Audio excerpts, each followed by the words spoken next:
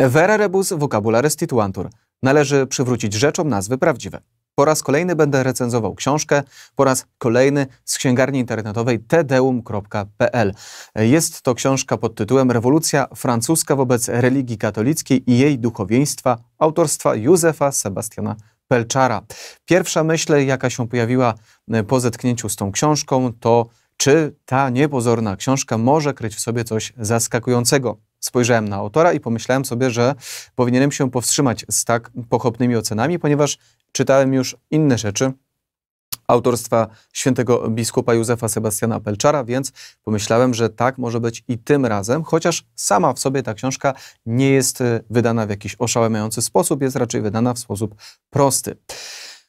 W książce mamy na początku e, wstęp przygotowany przez wydawcę, pana Józefa Jakubowskiego, któremu e, chciałem serdecznie podziękować za sprezentowanie tej i innych książek. Jest tego chyba zapas na najbliższe dwa lata. E, dostałem tego bardzo, bardzo dużo, więc e, nie tylko dziękuję za przesłanie tych prezentów, ale również obliguję się do tej ciężkiej pracy i trudu, który jest związany z przeczytaniem tych wszystkich książek i zarekomendowaniem lub nie, bo zawsze będę wyrażał uczciwą ocenę, tak jak postrzegam daną książkę, abyście Państwo mogli wiedzieć, czy ta książka jest warta przeczytania, czy raczej należałoby ją odrzucić w kąt. We wstępie e, mało jest o samej książce, a więcej o jej autorze. We wstępie pana e, Józefa Jakubowskiego.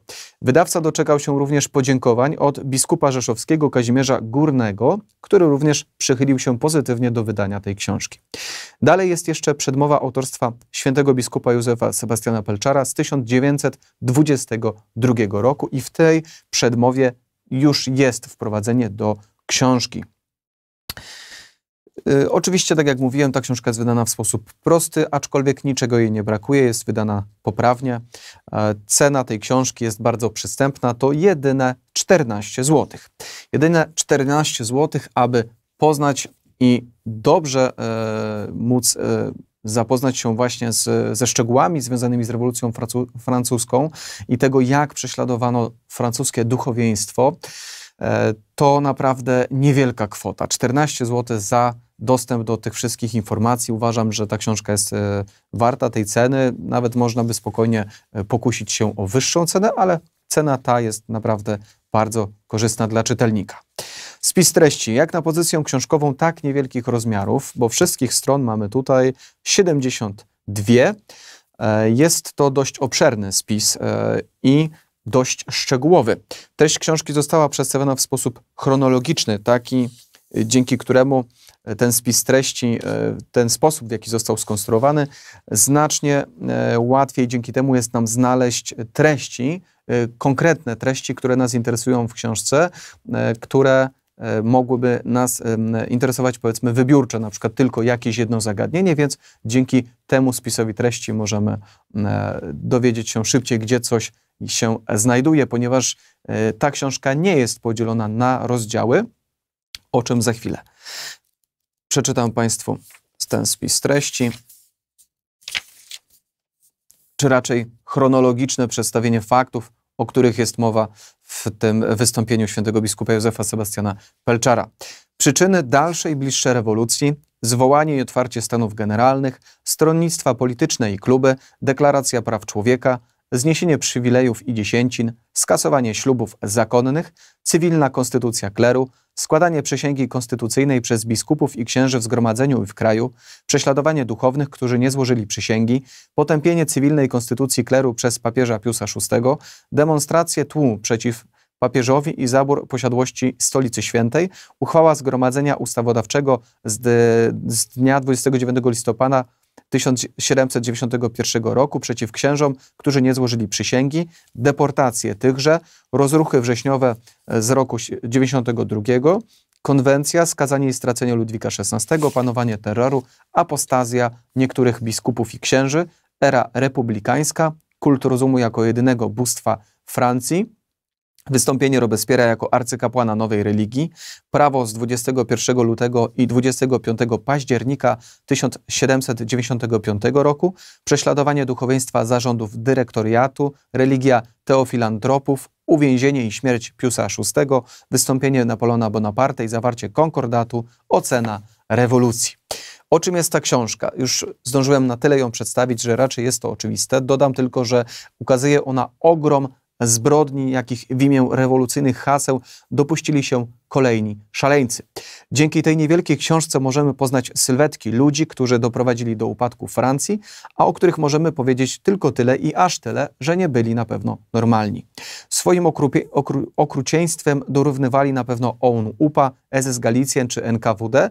Gdyby dysponowali lepszymi środkami technicznymi, pokusiłbym się również o stwierdzenie, że w ilości zamordowanych ofiar mogli przerosnąć tychże oprawców, tych największych tyranów XX wieku. Przytoczę Państwu fragment ze strony 38.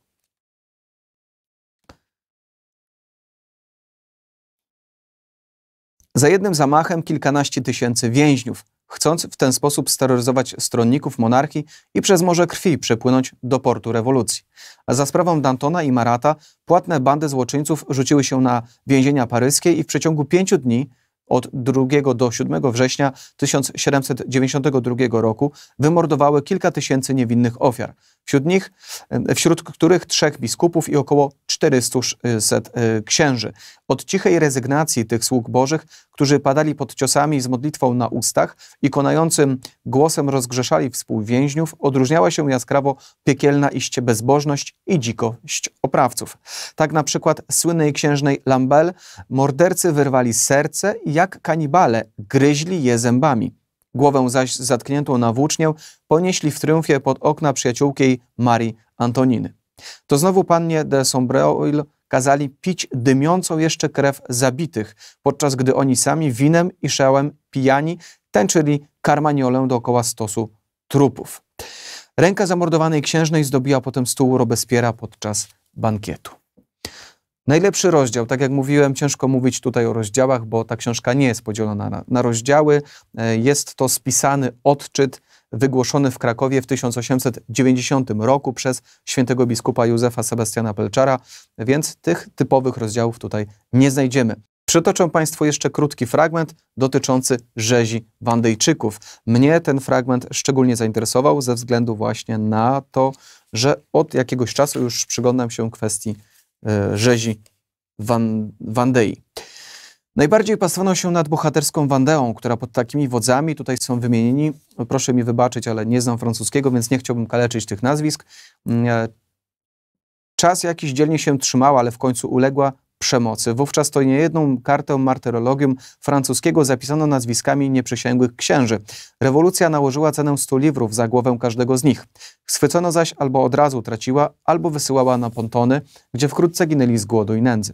16 listopada 1793 roku okrutny karier kazał zamknąć 94 księży pod pokładem małego statku, a potem otworzyć nagle dno i wszystkich potopić w Loarze. Podobne wydarzenie powtórzyło się i później, także ciała potopionych utrudniały brzeg rzeki, a wyrzucone na brzeg zatruwały powietrze. Wiele zakonnic otrzymało wówczas palmę, palmę męczeństwa. 27 lipca 1794 roku 16 karmelitanek skazanych na śmierć zaśpiewało na widok gilotyny Te Deum, a po odmówieniu Veni Creator już na rusztowaniu odmówiły wszystkie głosem donośnym swe śluby. Podobnie podczas stracenia 11 urszulanek brzmiał śpiew Tedeum i litania do Najświętszej Maryi Panny, dopóki ostatnia z nich nie położyła głowy pod topór. W Oranż zakonnice ucałowały gilotynę na znak wdzięczności za łaskę męczeństwa. E, tutaj jest też o pokazowych e, procesach, gdzie siostry zakonne uznano za winne, jako że w swoim kościele wystawiły Najświętszy Sakrament pod baldachimem mającym kształt płaszcza królewskiego. Pius X beatyfikował, święty Pius X beatyfikował je jako męczennicę 27 maja 1906 roku. Wzruszające zdarzenie przytacza biskup, e, tutaj też nie jestem w stanie wymówić nazwiska, w swoim pięknym dziele Chrystianizm i czasy obecne, tom 5, strona 138. Było to w krwawym roku 1793. W dniu 22 lipca na wózku wiozącym ofiary na rusztowanie znajdowały się m.in. margrabia de no-, Noyles, jeżeli tak to się wymawia, matrona czcigodna tak wiekiem jak urodzeniem, a nade wszystko cnotami, jej synowie księżna de Ayen i jej wnuczka, wicehrabina de Noyles, młoda, zaledwie 24-letnia kobieta o anielskim charakterze i przedziwnej piękności. Przed samym uwięzieniem widywały co wieczór pewnego starego kapłana, który potajemnie je odwiedzał, by wspólnie z nimi gotować się na męczeństwo. Wymogło od niego przyrzeczenie, iż gdy będą iść na rusztowanie, on zastąpi im drogę i udzieli ostatniego rozgrzeszenia. Nie dopowiem całej tej historii, zostawiam ją dla Państwa, jest w tym tekście. Przejdę do kolejnego punktu recenzji. Czy coś mnie zaskoczyło? Książka ukazuje stopniowe rozpędzanie się maszynki rewolucyjnej, którą symbolicznie można by ująć w taki oto obrazek. Coraz szybciej pędzony korowód Francuzów na gilotynę przez tych, którzy Francuzami byli jeszcze wczoraj. Na tym tle Napoleon Bonaparte, choć jawi się jako postać negatywna, nie wypada o dziwo najgorzej.